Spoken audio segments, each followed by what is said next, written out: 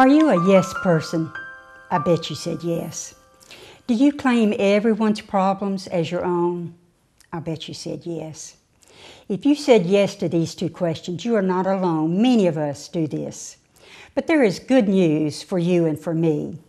Let me welcome you to Gray Hair Talking as we discover the power of no. Let this sweet array of angels help you focus as you watch this video. Now, as a young woman, the power of no was one of the hardest concepts for me to learn, especially during the years we served in full time ministry. From my earliest memories, I said yes to everything. I claimed the job of keeping everyone happy. I tried to fix every problem, and I was content to be a dumping ground for everyone who wanted to complain about anything.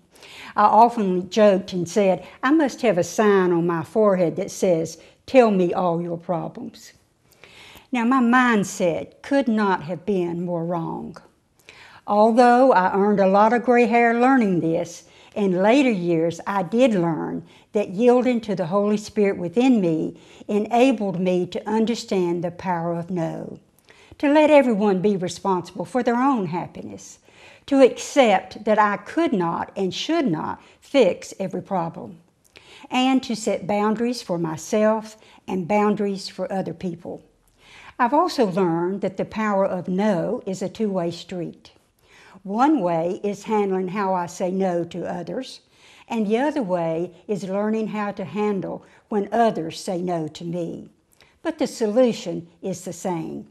Listen as I read an excerpt from Paul's writings. I'm reading from Galatians 5 out of the message. But what happens when we live God's way? He brings gifts in our lives. We develop a willingness to stick with things, a sense of compassion in the heart, and a conviction that basic holiness permeates things and people. We find ourselves involved in loyal commitments, no needing to force our way in life. We're able to marshal and direct our energies wisely. We have far more interesting things to do with our lives because each of us is an original. When we feel burdened by our own demands and demands from other people, the Spirit can help us set boundaries and, just as Paul says, direct our energies wisely. This is Rachel Solomon, and I'm encouraging you to learn the power of no, and I'm sending you blessings from Gray Hair Talking.